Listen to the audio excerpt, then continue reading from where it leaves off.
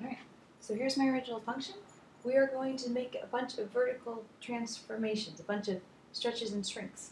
So the idea is that these are all vertical transformations because they're all affecting the y's. They're outside, they're not grouped in with the x. It's y is going to be three times what it was before. y is going to equal one half what it was before. y is going to be the negative of what it was before. So all of the vertical transformations are affecting the y values. And so when we're making our new points, all the x values are going to stay the same. So I'm going to keep my x values the same. And what I've already done here is I've written all the kind of key points that'll kind of help me guide my graph. So when I'm doing something with a vertical change, all the x values are going to stay the same. And then here, the y is three times what it used to be. So now it's going to be negative 6, 0, 6, and 3. And when I do that, I've got the point negative 4, negative 6. So this y value became 3 times what it used to be. The y value here was 0. It stayed at 0, so we've got negative 2, 0. 0, 6, 0, 1, 2, 3, 4, 5, 6. And so that y value became 3 times what it used to be. Uh, 2, 3, so 1, 2, 3. I guess I could have done this point as well. That's going to be up there.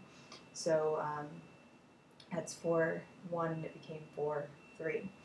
And so you can do this without the table if, if uh, you're comfy with it, but the table might help at first. So now you just sort of connect your segments here to here, the rounding segment and the straight segment.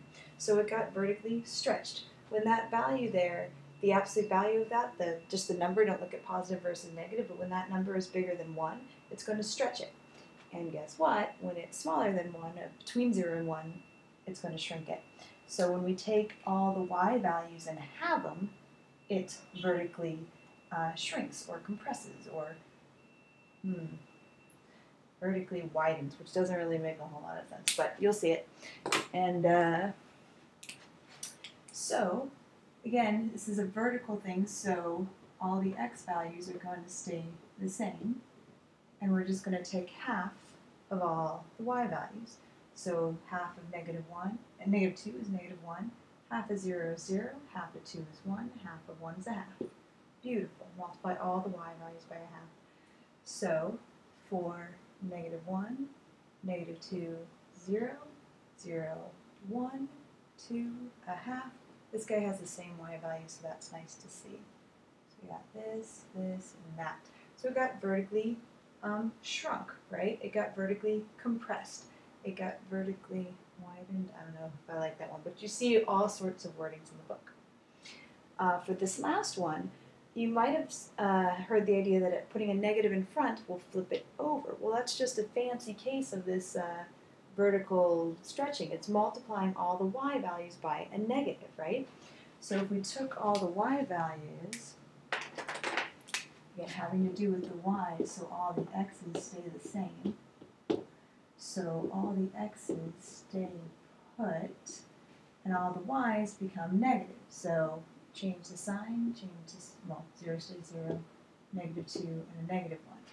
So negative 4, positive 2 is up there, negative 2, 0, 0, negative 2, 2, negative 1, and this point here would have followed. So we've got this thing, and if you can see the original black graph in there, you can see that it flipped over. Well, flipping over is just a fancy way of saying multiply the y values by negative 1. So in summary, anything that's on the outside affects the y's just like it looks. I'm going to multiply the y values by 3. I'm going to multiply the y values by a half. I'm going to multiply the y values by a negative 1. In the next video, it's going to be grouped in with the x's, and it's going to affect the x's, and it's going to do the opposite of what you expect. When it's grouped in like that, you're going to have to undo it. So, let's pause here and do some more.